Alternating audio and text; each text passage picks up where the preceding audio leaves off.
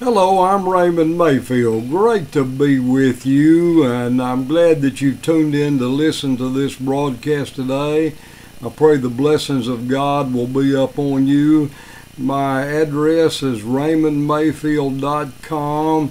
You can find me on many outlets, GodTube, YouTube, and many others. And I appreciate you viewing my videos. I appreciate it very much and I hope it will be very, uh, very eventful in your life.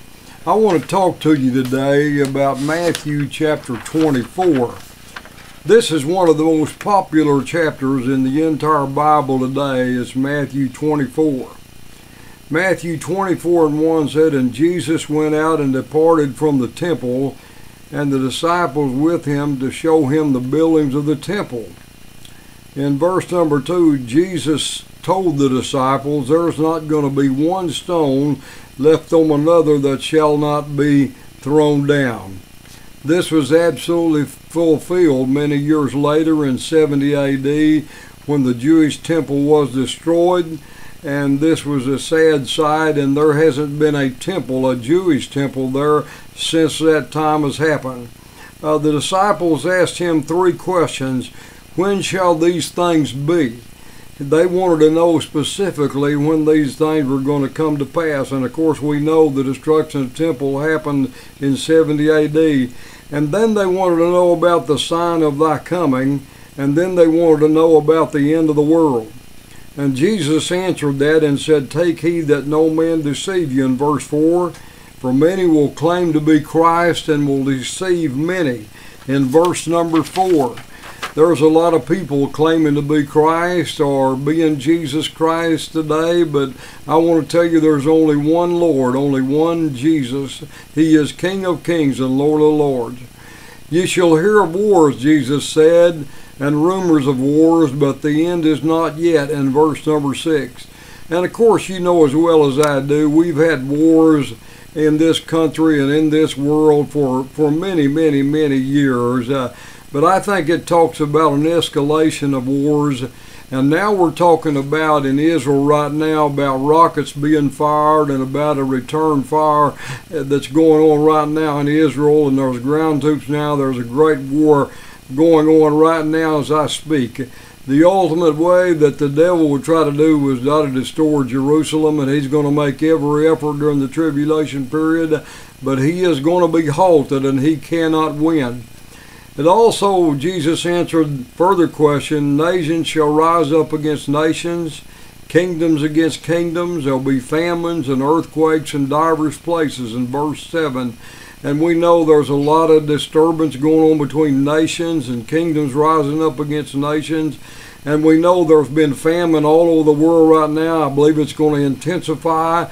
And earthquakes are in divers places. We're hearing of earthquakes that we've never heard about before. And he said, All of these are just the beginning of sorrows in verse number 8. And then he says, False prophets will arise and deceive many. Many of them come in the name of religion and proclaim to have a great message, uh, but they're false prophets, and we've got to be on our on our toes uh, all the time and be aware that we stay within the Word and stay balanced in our Word. If it doesn't line up with the Word of God, then it's wrong. And the Bible says, Iniquity shall abound, and the love of many shall wax cold. Many families are not together today because there is just strife going on everywhere. And everywhere you hear there's strife, and the love of many are waxing cold. But it says here, But he that endureth to the end shall be saved. And this gospel shall be preached in all the world, and then the end shall come. Friends, that is taking place today when a lot of our missionaries are preaching all over the world today and through television and through many, many outlets. The gospel of the kingdom is being spread. And Jesus said, when the gospel of the kingdom is preached in all the world, then the end will come. When ye therefore shall see the abomination of desolation spoken by Daniel the prophet, and then parentheses, whosoever readeth, let him understand. In verse number 15, that's the Antichrist absolutely that's going to come in and take over the Jewish temple and set up his image in the temple. Uh, he did that in Daniel's time when a Syrian king set up a uh, uh, set up a sow there right in the middle of the temple and offered a sacrifice and defilement of the temple. And so that's a desolation of prophet that is spoken about in the book of Daniel and it speaks about of the Antichrist taking over the temple. He is going to take over the temple, but it's not going to last long. Verse 21 says, For there shall be a great tribulation, such was not since the beginning of the world, or ever shall be. Friend, I want to tell you, we can't even describe how bad it's going to be, the tribulation period. It's going to be a lot worse than anything that has ever happened in the world ever before or never will be ever again. And the Jews are going to, the, the Gentiles are going to trod down the city of Jerusalem. Uh, and it seems like the devil's going to win, but God's going to come back with his saints and he is going to be on we're on the winning team and we're going to win. Thank you Jesus for that. I want to tell you to be encouraged today.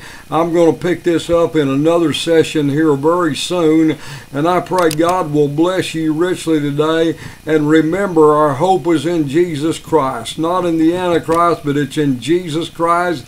Keep your eyes on the prize. Keep your eyes on Jesus. Uh, you love Jesus with all your heart, and He will take care of you. And this is Raymond Mayfield. Thank you so much for listening today.